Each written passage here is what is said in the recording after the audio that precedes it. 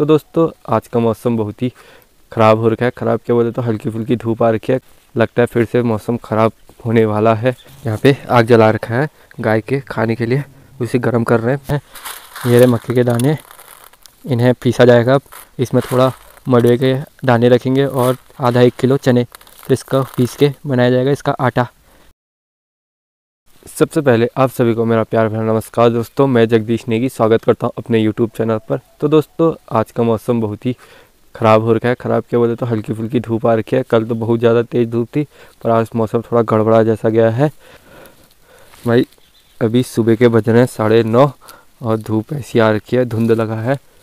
कल तक मौसम साफ़ था, आज बादल लगे हैं। लगता है फिर से मौसम ख़राब होने वाला है। आज या कल वैसे बारिश तो बता नहीं रखी थी, बारिश पच्चीस छब्बीस की बताई थी, उस दिन हुई नहीं। तो मौसम साफ़ ही था तो अब देखते हैं मौसम, अगले दिन का कैसा होता है। तो दोस्तों, इसी के साथ करते हैं आज के दिन की शुरुआत। तो दोस्तों, बनाते हैं सुबह का नाश्ता, मैक्रोनी बनाते हैं अभी। तो दोस्तों, मेरी चाह और रोटी और मैक्रोनी दोनों तैयार है। खाते हैं इस मौसम में चाय के साथ मैक्रोनी। तो दोस्तों, खाना तो खा चुका हूँ। और अभी भानु ने यहाँ पे आग जला रखा है गाय के खाने के लिए। उसे गर्म कर रहे हैं। भानु लाएगा गाय बच्चों को। आज वो, मैं ज़रा कपड़े धो रहा था अपने, क्योंकि कल बच गए थे दो चार तो इन्हें धोने को रख दिए कितना गंदा हो रखा है। तो धोते हैं कपड़े, ठीक है?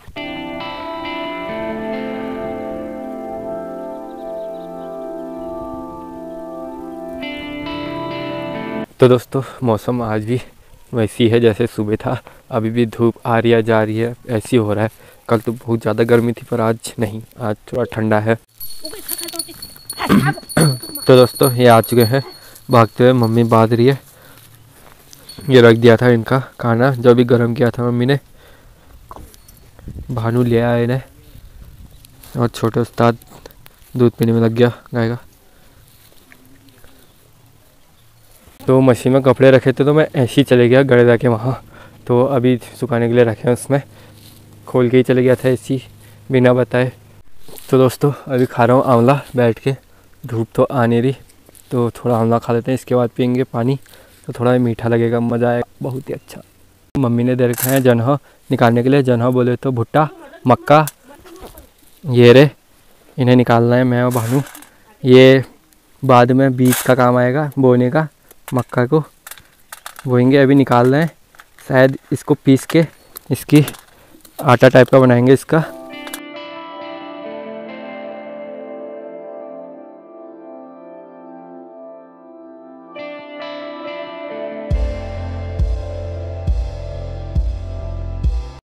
तो दोस्तों, ये छील चुके हैं, ये लास्ट बचा है।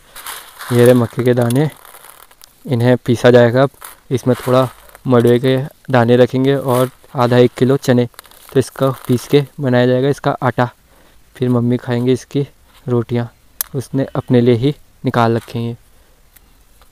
भाई इनके जब एक कच्चे होते ना इनके चिल्हड़ मतलब चिल्हड़ की रोटी होती है ना हाँ पीस कर। पीस कर उसको भी बना के खाते थे मज़ा आता था एकदम। अभी तो इसके कुछ दाने बचाएँगे बीज के लिए मक्के बोने के लिए और कुछ पीस आटा बना दिया जाएगा इसका। तो दोस्तों, अभी बज रहे हैं चार और अभी धूप दिखने को मिल रही है। थोड़ा चमकती हुई धूप, पर बादल तो लगे ही हैं, फिर भी अभी नीचे शायद बारिश हुई थी शायद थोड़ा देर पहले, और हल्का हल्का मौसम साफ़ हो ही रहा है। तो दोस्तों, अभी चलते हैं थोड़ा देर में धड़कुआ वहाँ से आ रहा है सामान रामनगर से तो उसे लेने चलेंगे, ठीक है? तो दोस्तों, हम पहुँच गए हैं अभी धड़कुआ सामान तो ले लिया है, एक गाड़ी और आ रही है, बस उससे भी सामान लेते हैं, फिर निकलते हैं घर को, मैं और पारस, ठीक है? ये रहा धड़कुआ की, एक दुकान, दो दुकान। और भाई जो यहाँ से नज़ारा दिखता है, वो इस प्रकार। भाई अभी धुंधा है नीचे, क्योंकि अभी बादल लगे थे। तो दोस्तों, गाड़ी आ चुकी है हमारी, बस। यो आई बस अपनी। तो दोस्तों, घर तो पहुँच चुका हूँ मैं और पारस सामान लेके आ गए थे।